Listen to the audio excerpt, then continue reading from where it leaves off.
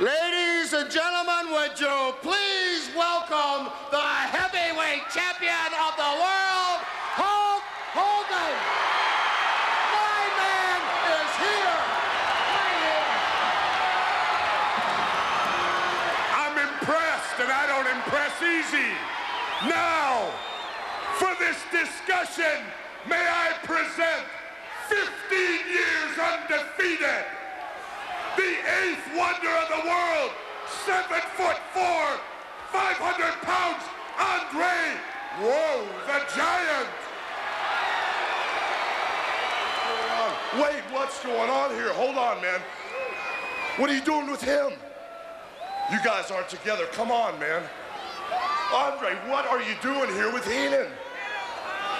What's going on? Andre, listen, man. You can't be here with him. Don't you know what Heenan's done to me? To these people out here since you've been gone? It can't be so. Andre, listen to me. Day one, man, when I set my eyes on you, brother, you're the reason I got in professional wrestling.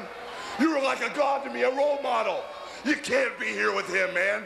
You're the one that took me all the way from nothing to the world's title. Andre, you can't be with him, man. Let me tell you no, no, wait one minute. You're the one that taught me, Van, about respect for the fans, about helping the kids. You're the one that taught me about good sportsmanship.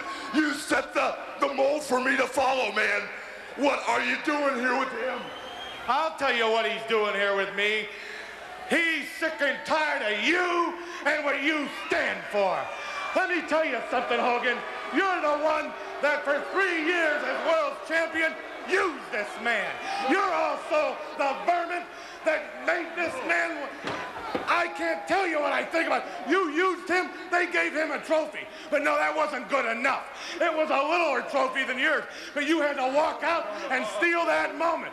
You're so jealous of this man, you can't stand it. He, oh, this is the man for 15 years that is undefeated. But did you ever once? No, man, you're wrong. You're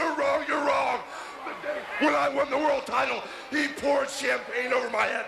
It was like a bond of friendship. You're wrong, Heenan. Did you ever once, once in your life, offer him a championship match? You laughed behind his back. No, Andre, listen, it's not happening. Tell me it's not so, man. Even though you came out here with him, you don't have to leave with him. It's not happening. Take your hands off my shoulders. He's got one more thing to say to you, Hogan. Look at me when I'm talking to you. I'm here for one reason. To challenge you for a world championship match in the WrestleMania. Andre, please, no, it's not happening. We're friends. We're friends, Andre, please. You can't believe it?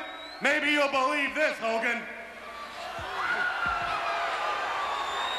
Andre, what are you doing, man?